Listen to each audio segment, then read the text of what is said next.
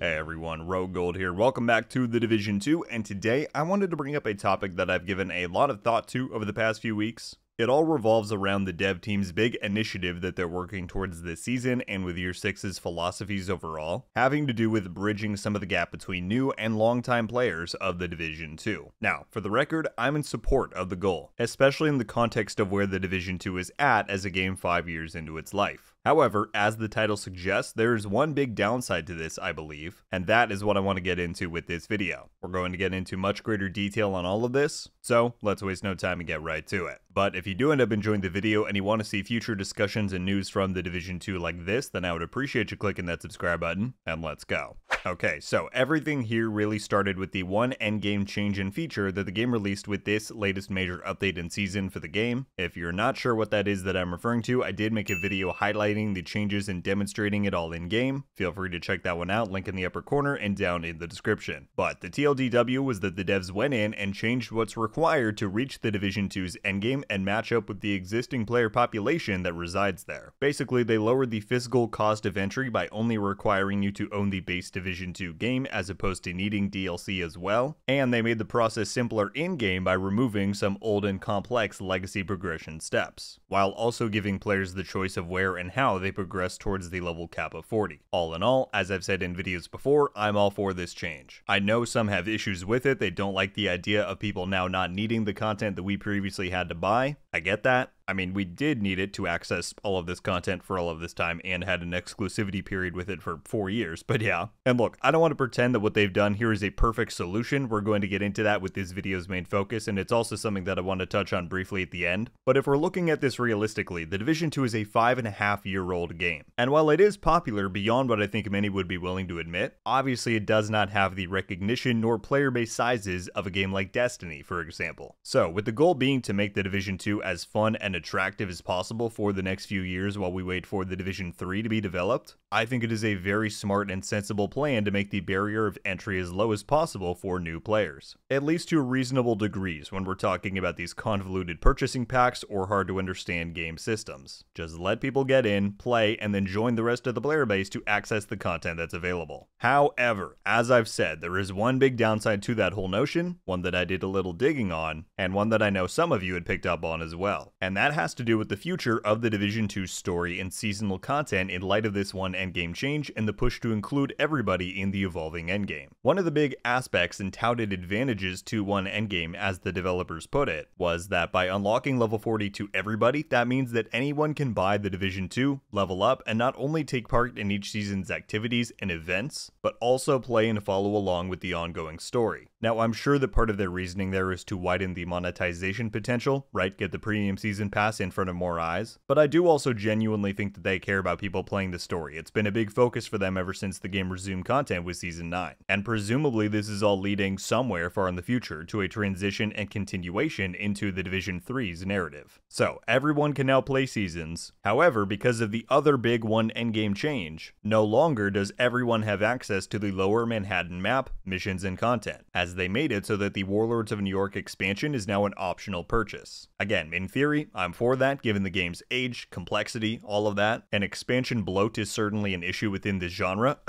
Destiny 2, uh, we'll talk about that a bit more towards the end. But if people accessing and playing the seasons simultaneously cannot access New York, what does that mean for future seasons? Does it mean that none of the Manhunt content or League missions or anything can be located outside of Washington, D.C., which is the only map that base Division 2 owners have access to? What does that mean for the upcoming Brooklyn DLC that we're getting? That's going to add in the game's third major world and map to date. Can that not be used for any seasonal stuff either if it's not going to be a required purchase, which I assume that it won't be given everything they did this season with one endgame? Those are the questions and concerns that I began asking myself once we got the full scope of what one endgame was was. But before jumping to any conclusions, I wanted to do some research and digging, right? Maybe there was a simple explanation I wasn't considering. Maybe they can or will go back and use Manhattan or Brooklyn for seasonal stuff, but people who don't own the content just get ported directly to those missions and then they can't roam around or go anywhere else. I feel like that would be a fair compromise, but I'm afraid that it seems like that might not be the case, because this specific topic was actually addressed in the season's 2.0 FAQ that the team released a few weeks back. Now, this greater article should likely be mostly disregarded at this point, at least temporarily, as we know that the devs are rethinking everything having to do with seasonal characters, and that's a big portion of what this FAQ is dedicated to. However, it also contained a section specifically relevant to 1 Endgame and the changes that we already have in the game now. And here was one of the questions asked Will the New York map remain accessible for playing Legacy Manhunts? Players without ownership of Wony will not be able to access the Legacy Manhunt mission set in New York. If they attempt to fast travel to the climax location, they will receive an in-game notification. Now, I don't want to conclude anything here, as this quote does not outright say all future seasonal content will be within DC, since non-expansion owners can't access the other maps. But you can kind of read in between the lines, right? The one Legacy Manhunt mission we have that's set specifically within Wony expansion content is Kelso's mission that released just last season. And like I said before, you'd think maybe for non-Wony owners, the game would let you fast travel to the stranded tanker specifically. You can't walk around, it would pull you right back if you tried to, and you can then play through that one specific instance of the mission. But, as the FAQ states, non-expansion owners simply will not be able to access it. And like I said, this is the crux of my concern and what slightly worries me about future seasonal content. Because of how much emphasis is being put on allowing all players to access seasonal content regardless of what additional content you own, I would think this suggests that to uphold that, it means that all future seasons, be it story beats, league selections, whatever, will only take place within DC or the offsite locations that were given for free like the Pentagon, Coney Island, etc. And while yes, that certainly limits the gameplay potential of seasons by cutting yourself off from certain portions of the game content to be reused, my bigger concern is actually with the narrative side of things. Now, on the one hand, there is a suspension of disbelief to be had here already. Is it really all that realistic that every major story event for the past four months in the game world's timeline has taken place specifically within the section of DC that we have access to, or the limited blocks of lower Manhattan, or the scattered offsite locations? No, it's really not. But when you factor in how much work goes into creating new zones and new areas, you work with what you got and you make the story fit within it. I get that. However, if the story is now funneled exclusively into DC or the other free areas simply for the arbitrary reason of non expansion owners can't access it, I'm not sure how I feel about that. Again, I'm all for opening up the game to more people, but if you're going to tell me that once we go and play the Brooklyn content in the upcoming DLC, that you never return there again for the story and from there on out all future threats are still back in DC, like I said, I just don't know how I feel about that. And so, that's mostly where I am right now. We don't have a direct quote from the dev saying we will never use expansion content for seasons again, but like we just went over, all signs seem to kind of point to that. And I just think that constricting a game like this one's narrative, not letting the story naturally go where it should go sometimes, just to ensure that it fits this retention strategy of allowing all players to access it, that would be a bit of a shame. The last thing I wanted to cover then was just discussing the logistics of it all. Okay, Rogue, you don't like them tying all the narrative to DC so that non expansion owners can play. What's your alternative proposal then? Like I've said countless times already in this video, I see the value of encouraging new players to come aboard. I'm in full support of it. And like I mentioned Destiny 2 earlier, a huge problem that game has with getting new players to join is that it is maddening to try and understand what you need to purchase to play. Oh, you want to play the endgame? Well, then you just need the latest expansion. But if you want the best subclass for a lot of content, you should really get this expansion too. Also, you probably want this one raid for this certain weapon, so you actually need this expansion too. You're talking about the one here from 2019? Yeah, yeah, that one. Alright, of course I'm exaggerating here a bit, but if not well thought out, live titles like The Division and Destiny can become very unfriendly from that outside perspective. I think one endgame makes The Division 2 more approachable at this stage in its life, which is good, but how do we fix the story issue? As I mentioned earlier, if there is a way to allow non-expansion owners to access just that one slice of seasonal content when necessary, I think that would solve the problem. However, if that's not technically possible, then maybe there's just not an elegant solution, and you just keep seasonal content in locations where the story naturally leads it to be. And if that means that it's in content tied to an expansion, then you throw up a splash screen encouraging people who don't own it to buy it. Who knows? Like I said earlier on, I'm sure at this point in the Division 2's life, none of this is likely a huge concern for the devs, but if nothing else, I think it is important that they start thinking about stuff like this for the Division 3. Assuming that game is built from the ground up for long-term support and content, which is certainly my hope, then create a good plan for having expansions that deliver meaningful, worthwhile content that the rest of the game can utilize accordingly, but also make sure that two, three, four years in, it's still feasible for new players to come in, understand what's what, and not be stuck navigating through half a decade of DLC to figure out what they need.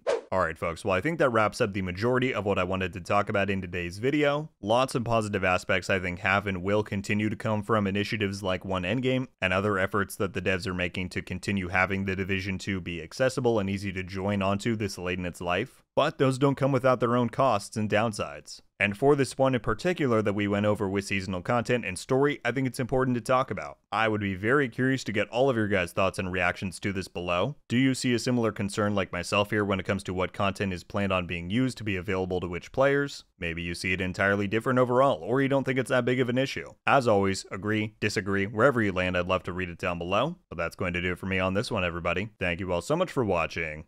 I'll see you in the next one. Rogue Gold. Ow.